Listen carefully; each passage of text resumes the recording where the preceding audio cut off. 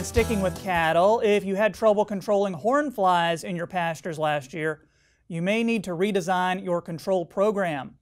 Nebraska Extension educator Dave Boxler spoke with Market Journal's Maddie McIntosh on several different methods of horn fly control and how to figure out which one is best for your operation. Warmer temperatures means an insect called the hornfly is emerging from manure pats across Nebraska pastures. Thankfully, there are a number of control methods producers can use to keep the pest at bay. Certainly, we have a, a number of methodologies that have been around for 50 plus years. That would be the dust bag. If you choose only to uh, provide this in a free choice setting, you're probably going to lose anywhere from 25 to 50% uh, in fly control. So forced use is the way to go on this treatment methodology. Uh, back rubbers and oilers have been uh, used for a long time and are still used by a lot of livestock producers. Animal sprays have been used uh, widely, and some producers rely on animal sprays exclusively.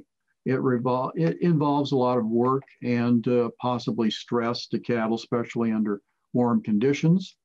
There is another um, spray uh, methodology called a mist blower sprayer, where you take the sprayer out to the cattle and spray the cattle right in the pasture. And here again, those uh, spray treatments are going to have to be repeated at least every two weeks to get to, to achieve maximum control.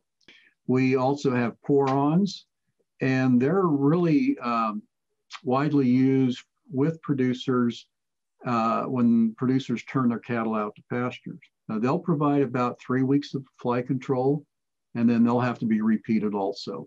We have a lot of producers in Nebraska using feed throughs, and insect growth regulators work by disrupting the development of the fly. So the animals will feed on this uh, mineral. It'll go into the system, deposit it in the manure, and it kills the, the, larvae that are developing in the manure. So we do have insecticide ear tags that have been with us for 35 plus years now, and um, many producers will rely on this fly treatment. And we encourage our Nebraska producers to delay the application of these ear tags until either the economic injury level is reached or uh, make the application in late May or early June. Um, that way you can assure pretty good uh, season-long control.